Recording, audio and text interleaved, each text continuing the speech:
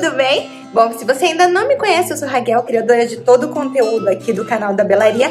Andei dando uma olhada lá no meu blog, um monte de receita antiga de 4, 5 anos atrás, que eu decidi regravar, refazer, alterar ingredientes e dar uma repaginada aí na receita. A primeira que eu vou fazer são esses cookies, juro, gente. Os melhores cookies que eu já fiz na minha vida. Olha o tamanho disso.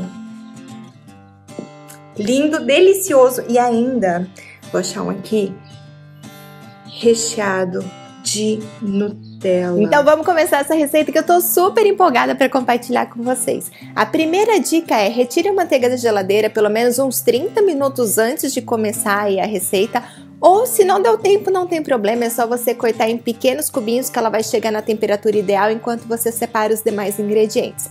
Então aqui eu tenho 140 gramas de manteiga sem sal. Ela precisa estar macia, nem aquele ponto oleoso demais e nem firme demais. Eu também vou precisar de 5 gramas ou meia colher de chá de fermento e meia colher de chá de bicarbonato de sódio. Também vou misturar aqui uma pitadinha de sal. Você pode colocar esses ingredientes direto já junto com a farinha. Aqui nesse outro potinho eu tenho 340 gramas de farinha de trigo e agora eu vou juntar esses outros ingredientes secos, misturar e reservar. Para não mexer demais a minha massa, eu também já vou deixar aqui separado e batido dois ovos. É só bater muito bem aí por uns dois minutinhos com o garfo e já tá pronto. Aí em outro bowl eu coloco a manteiga já macia, são 140 gramas, com 80 gramas de açúcar refinado. Se preferir, pode ser o cristal também. E eu também vou acrescentar aqui 160 gramas de açúcar mascavo. Esse foi o primeiro açúcar mascavo que eu achei aqui na Alemanha. Ele é bem diferente do nosso, ele é mais seco, mais granulado, mas deu super certo na receita. E agora eu vou amassar isso aqui. Pode ser uma espátula, uma colher de pau ou esse alisador de bolo. E a segunda dica para o cookie perfeito ainda é sobre a manteiga. Nesse ponto aqui, evita misturar com as mãos. Mexe o máximo possível com uma espátula, amassando bem até a manteiga ficar bem cremosa, bem macia e até que você não veja assim mais pedacinhos de manteiga, que ela esteja bem incorporada ao açúcar. E agora é a vez dos ovos e aqui está o truque. Coloca aos pouquinhos, coloca um pouquinho, mistura bem aí no açúcar e na manteiga, coloca mais um pouquinho, mistura.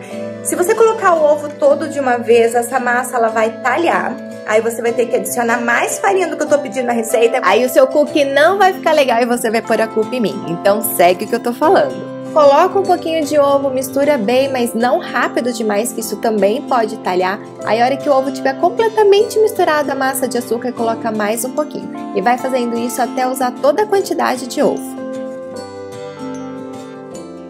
Essa massa de cookie, gente, precisa ser feita com carinho. Se você optar em usar a batedeira em velocidade mínima, batendo o mínimo possível também para não alterar demais a textura da manteiga.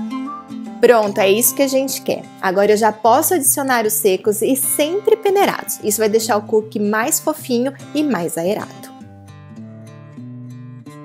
Aqui eu vou misturar só um pouquinho e já vou adicionar o chocolate. No total eu estou usando 280 gramas de chocolate, que eu misturei chocolate meio amargo, 54% cacau, com um pouquinho de chocolate branco. Se você não quiser usar o chocolate amargo, você pode usar o ao leite, você pode trocar por castanhas, você pode acrescentar frutas cristalizadas, o que você tiver em casa. Eu esqueci de adicionar a baunilha, então lá junto com os ovos você pode acrescentar uma colher de chá de extrato de baunilha ou de café ou de amêndoas que também fica super gostoso. E continua amassando aí com a espátula ou a colher de pau, mas ainda evita ao máximo o contato com as mãos. Quando estiver pesado para mexer com a espátula, aí sim pode pôr a mão na massa e amassar até que fique homogênea sem nenhuma pontinha de farinha aparecendo. A massa tá pronta, só que para ter um cookie crocante, saboroso e que não espalhe na assadeira, ele precisa descansar na geladeira por no mínimo 30 minutos. Se você puder deixar de 2 a 8 horas, melhor ainda. Essa receita rende mais ou menos um quilo de massa e eu não vou assar tudo de uma vez. Eu vou assar metade, o restante eu vou embalar muito bem e vou manter lá no meu congelador para sempre que eu quiser cookies fresquinhos. Lá no site tem todos os detalhes de como armazenar, como congelar, rendimento e tem link direto para lá na caixa de informações abaixo desse vídeo. Eu deixei na geladeira por mais ou menos umas 3 horas. Ela está super firme e perfeita para modelar, que assim ela não vai alterar demais a manteiga. Eu quero cookies gigantes, então vou dividir essa massa em 6 pedaços de mais ou menos 100 gramas cada uma.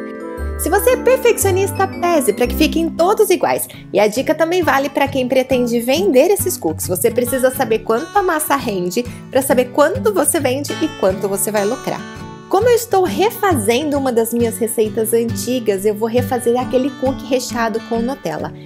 Então eu já deixei algumas colheradas de Nutella congelando aí por algumas horas. Aí para rechear você vai abrir a massa na palma da mão como se fosse uma coxinha, coloca a bolinha de Nutella congelada e amassa. Vai virar uma bolota de cookie, mas não tem problema que a hora que a sala vai ficar bonitinha e o recheio vai ficar perfeito. E a Nutella tem sim que ser congelada, senão ela vai assar e não derreter dentro do seu cookie. Então deixa lá por no mínimo umas 5 horas ou coloca no dia anterior para você usar no dia seguinte. Já vou colocando aí, ajeitando no verso de uma assadeira com uma distância de pelo menos 3 dedos entre elas, porque elas vão se esparramar e elas vão crescer bastante no forno. Depois de modelar as bolinhas, eu gosto de achatar aí um pouquinho e marcar o topo delas com a ponta dos dedos, que depois de assada ela fica com uma cara um pouquinho rústica, assim, fica super bonito. Se levar para o forno logo depois de modelar, ela vai se espalhar pela assadeira, ela vai ficar achatada, vai ficar oleosa e não vai ser legal. Então leve essa massa para a geladeira por uns 25, 30 minutos e enquanto isso você aproveita para pré-aquecer seu forno a 190 graus. Forno quentinho, cookies super gelados. Ó, se eu pressionar que ele tá bem firme, é assim que eu gosto de levar pro forno. E agora sim assar a 190 graus por uns 12 minutinhos. Você vai começar a sentir assim aquele cheiro maravilhoso de cookie pela casa. E as bordinhas devem estar douradinhas. Aí depois de assado, para ele ficar bem crocante por vários dias, retire da assadeira quente e deixe esfriar sobre uma grade. Cuidado na hora de retirar da assadeira, porque como ainda estão quentes, eles estão super molinhos. Então use uma espátula ou uma faca para facilitar e não quebrar o seu cookie. E se você quiser saber mais sobre congelamento, rendimento, validade, tem um post completo lá no site. E para visitar é só clicar no link que está na caixa de informações abaixo desse vídeo. Então me conta aqui, escreva nos comentários se você gostou desse estilo de vídeo. Gente, eu não consigo falar pra câmera, mas pro celular, se você me acompanha lá no Instagram, você sabe que eu consigo. Então me escreva aqui se vocês querem mais vídeos como esse. Ó, minha sala ainda está em reforma. Aliás, vem um vídeo super legal sobre isso. Então, se inscreva, ativa o sininho para receber as notificações assim que esse vídeo for publicado e todas as outras receitas desse canal, tá bom? Obrigada e eu te vejo na próxima receita. Tchau! It's so easy to see